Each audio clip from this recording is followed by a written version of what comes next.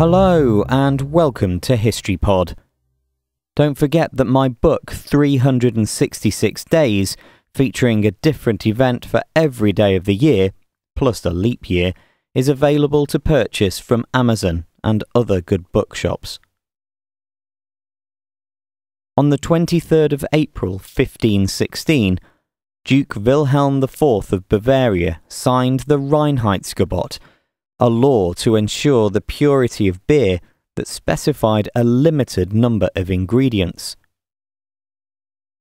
The early 1500s experienced economic and agricultural tensions in Germany, which saw brewers and bakers competing to purchase grain to produce their goods. In an effort to avoid price inflation, the Reinheitsgebot consequently limited brewers to only used barley, while wheat and rye were exclusively made available to bakers for bread. The original purity law was signed in Ingolstadt and stated that beer in Bavaria could only contain barley, hops, and water. As the political situation in Germany changed over the subsequent centuries, the Reinheitsgebot continued to be a central piece of legislation. Its pan German implementation was even a prerequisite for Bavaria joining the German Empire in 1871.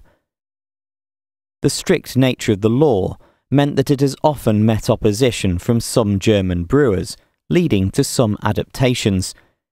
These include recognizing that yeast is required for fermentation and also permitting malted grains rather than just barley to be used.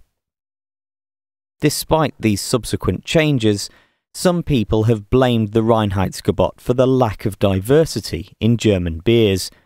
As recently as 2016, the German daily newspaper Der Spiegel criticized the law for denying brewers the opportunity to experiment with new ingredients and styles. Consequently, some brewers have begun to create brews that don't follow the law, but these are not allowed to be called beer.